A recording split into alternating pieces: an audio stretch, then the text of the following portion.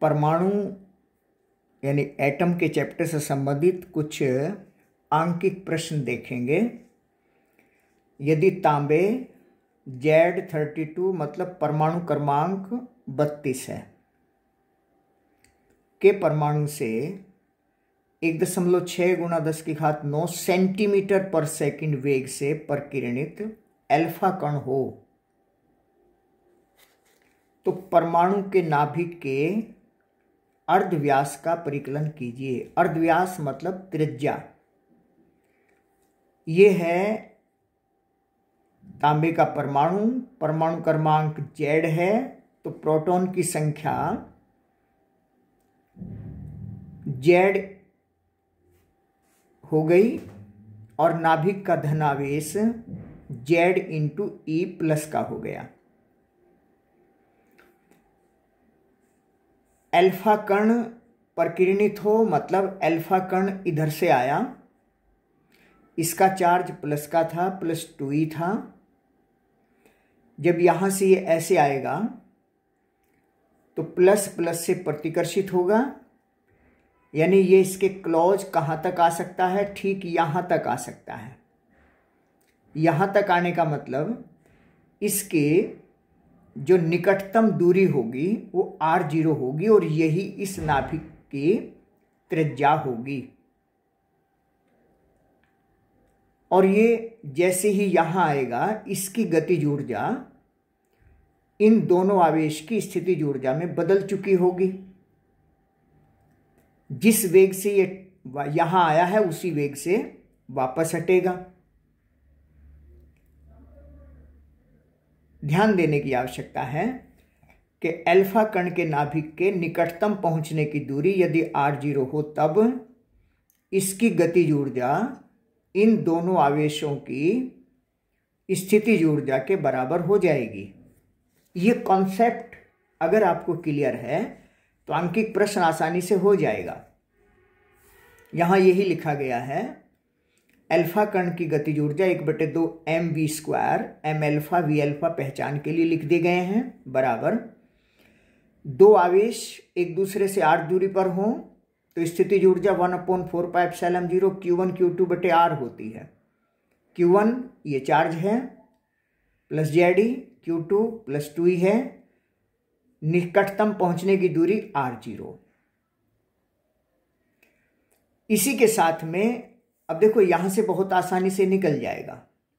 Are zero का मान calculate करना है तो आर ज़ीरो इधर आ गया, ये इधर चला आएगा।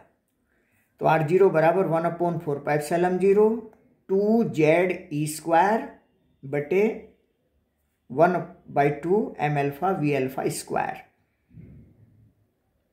ये सब मान दिए हुए हैं। एल्फा पार्टिकल हीलियम के नाभिक होते हैं। प्लस दो इकाई आवेश होता है और चार इकाई दरोमान होता है, ये आपको पता होना चाहिए। चार इकाई दरोमान मतलब चार गुणा एक दशमलव छः सात गुणा दस की घात माइनस सत्ताईस किलोग्राम। बस वैल्यू रखेंगे और ये कैलकुलेट करके आ जाएगा। इसी में एक बात ये भी देखिए कि अगर कहा जाए कि एक अल्फ़ा पार्टिकल को वी वोल्टेज तक त्वरित किया गया है वी वोल्टेज तक त्वरित करेंगे तो उसकी kinetic energy two E into V हो जाएगी। अल्फ़ा कर्ण वी वोल्ट तक त्वरित हो। तो वी वोल्टेज तक त्वरित होने के लिए क्यू आवेश को वी विभांतर तक त्वरित करेंगे तो उसकी एनर्जी क्यू इंटू वी होती है। तो टू अल्फ़ा ये अल्फ़ा पार्टिकल है तो इसका चार्ज प्लस टू ई हो गया तो टू ई इंटू वी इतने वोल्टेज तक त्वरित होगा तो ये एनर्जी हो गई। और अब इसके कितने नज़दीक पहुंचेगा? ये एनर्जी, पोटेंशियल एनर्जी के बराबर हो जानी चाहिए।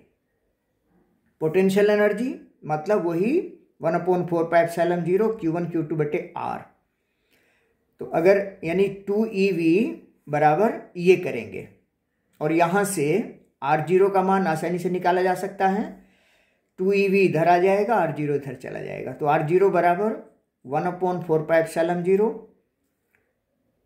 Z E two E upon two E V two Z E square बटे टू ई वी इन सब के हम मान रख सकते हैं, नौ गुना दस की हाथ नौ। जेड टू से टू कैंसिल हो जाएगा ई e से स्क्वायर से कैंसिल हो गया।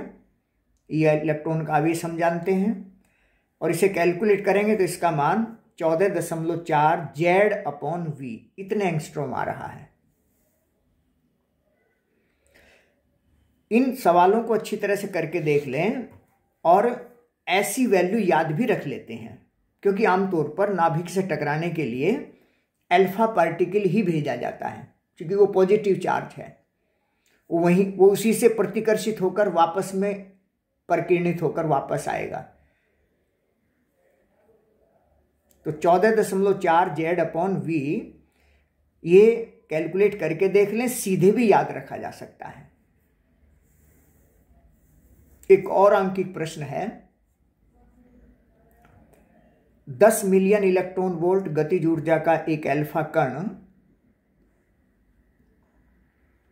एक स्थिर बिंदु नाभिक जेड बराबर फिफ्टी की ओर जा रहा है। पहले सवाल की तरह ही है उसके निकटतम पहुँचने की दूरी ज्ञात कीजिए। निकटतम पहुँचने की दूरी वही आर ज़ीरो होगी। दस मिलियन इलेक्ट्रॉन वोल्ट गतिज ऊर्जा का। यानी ये गतिज ऊर्जा लेकर आया है, टकराएगा, गतिज ऊर्जा स्थितिज ऊर्जा में बदल जाएगी। ये कॉन्सेप्ट महत्वपूर्ण है। बस जैसा कि ऊपर हमने ये कैलकुलेट किया था, इसी तरीके से सीधे मान रख सकते हैं। चौदह दशमलव चार जेड अपॉन वी फिफ्टी दिया हुआ है। और ये लिखा है दस मिलियन इलेक्ट्रॉन वोल्ट। दस मिलियन, दस की घात छ वोल्ट, इतना हो जाएगा।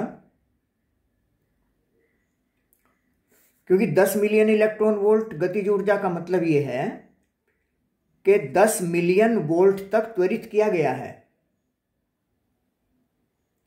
आवेश को 10 मिलियन वोल्ट तक अगर त्वरित करेंगे तो इसकी एनर्जी 10 मिलियन इलेक्ट्रॉन वोल्ट हो जाएगी। ये इलेक्ट्रॉन वोल्ट जैसे कि मात्रक होता है कि इलेक्ट्रॉन को वी वोल्टेज तक त्वरित करेंगे तो उसकी energy E into V joule होती है और वी इलेक्ट्रॉन वोल्ट होती है। ये छोटी छोटी सी बात है, इस आधार पर आधारित अंकित प्रश्न ज़रूर आता है कोई भी, कोई ना कोई। बस वैल्यू रखेंगे और इसका मान आसानी से आ जाएगा। एक और अंकित प्रश्न देखेंगे। हाइड्रोजन स्पेक्ट्रम के लिए एच अल्फ़ा का मान ज्ञात कीजिए। एच अल्फ़ा ये बामर श्रेणी में होती है, दृश्य क्षेत्र में पड़ती है।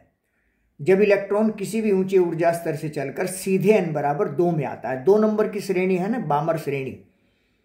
एक नंबर की लाइमन होती है, दो नंबर की बामर होती है, फिर पाश्चन ब्रैकेट और फुंड, तीन, चार और पाँच नंबर की क्रमशः होती हैं। यानी हाइड्रोजन का उत्सर्जन स्पेक्ट्रम आपको क्लियर होना चाहिए। अगर वो क्लियर है तो देखो ये बहुत आसान है। एच एल्फा तीन से दो में आएगा तो एच एल्फा का उत्सर्जन होगा। इसे हम ऐसे निकाल सकते हैं सीधे, क्योंकि एनवे ऊर्जा स्तर की ऊर्जा minus thirteen point six upon N square. General formula होता है minus thirteen point six Z square. और जेड का मान हाइड्रोजन के लिए एक होता है। तो एन तीन में से दो E two minus E three minus E two और ये कैलकुलेट करेंगे तो ये आ जाएगा। इतने इलेक्ट्रॉन वोल्ट ये एनर्जी का डिफरेंस आया है। ऊर्जा का अंतर ये है।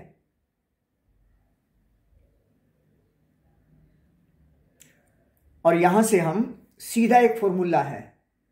पहले बताया गया था, ये ई e बराबर, डेल्टा ई बराबर H C upon lambda. H C के मान रखकर जब निकाला जाता है तो ये आता है एक दो तीन चार पाँच, इसको याद रख सकते हैं। एक दो तीन सात पाँच upon delta E electron volt मात्रक का ये होता है।